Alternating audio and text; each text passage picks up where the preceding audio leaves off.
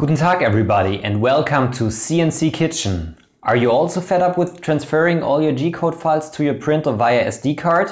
And do you also like watching great looking time-lapse videos after the prints? Then stay tuned. I'll show you how that works. I'll be showing you the process of using Octoprint and installing a Raspberry Pi camera on your original Prusa i3 Mark II, but this will also be applicable for most other 3D printers. There are some basic things you need a Raspberry Pi including AC adapter and a micro SD card. I'm recommending the version 3 since it has built-in Wi-Fi. The Raspberry Pi camera, I highly recommend using the version 2 because the image quality is much better than with the first version. And you need a long flat flex cable for the camera. I'm using a 1.5 meter cable, which is a little bit too long, but works without an issue. You can find the Amazon links of all of these items down in the video description. In addition, you need some printed parts to mount the camera to the bed and the Raspberry Pi to the frame of the printer.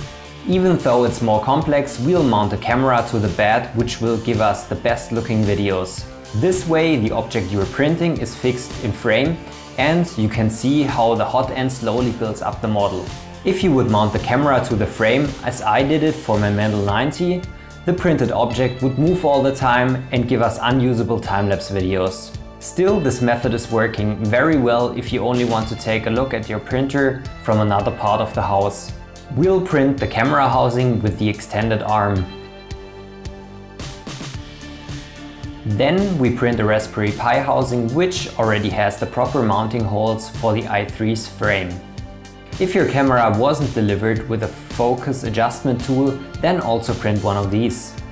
At last you need a bunch of cable clips which you can use to properly route the flat flex cable below your printer. I printed all the parts in PLA which worked for me so far. It might make sense that you print the arm out of PETG or ABS so that it does not soften due to the hot build platform. You can find the links to all of these parts down in the video description. At first you need to set up the Raspberry Pi. I don't want to reinvent the wheel, so check out Tom's great video how this is done properly. But you need to make some additional steps. During the configuration, go to the Enable Camera menu and make sure that it is enabled. Turn off your Raspberry Pi and connect the camera using the long flat flex cable. Make sure that the pins of the cable are proper oriented and it's plugged all the way in.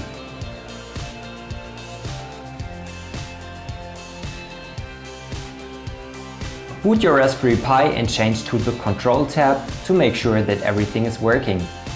Depending on your Wi-Fi connection, loading the image might take some seconds. Now we'll attach the camera arm to the print bed. Remove the existing bolt and use a longer one with some shims to screw the arm in place. Make sure that the bolt is short enough that the heat bed is not pushed upwards, but long enough that the arm is properly held in place. You should be able to use the spare bolts which came with your Prusa i3. You need to slide out the arm a bit and make sure that it does not collide with the printer frame or the zip ties. Push the camera mount onto the ball joint. Insert the camera into its housing and close it up. Mine held very well with friction only. Add the cable clips to the printer frame and route the flat flex to the other side of the printer. Make sure that the cable does not get into contact with any moving parts. You can use additional zip ties or hot glue.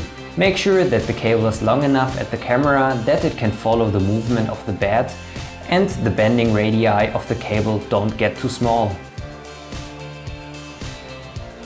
Insert the cable through the housing of the Raspberry Pi case and connect it properly. Use additional zip ties to make sure that nothing gets in the way during printing. Start the Raspberry Pi and check if the image has the right orientation. If not, use the settings in the settings menu. The default focus is usually set to a point far away. Place an object with some details in the center of the print bed and gradually adjust the focus of the camera until it gets into focus. This is done by rotating the lens of the camera using the provided or printed tool. Adjust the settings in the time-lapse tab to your preferences. I'm usually using the timed mode with one picture every 10 seconds. Select Save as Default and Octoprint will now create a time-lapse movie for all of your prints. That's it! If you liked this video, please give it a thumbs up and consider subscribing. Thanks for watching and I'll see you next time!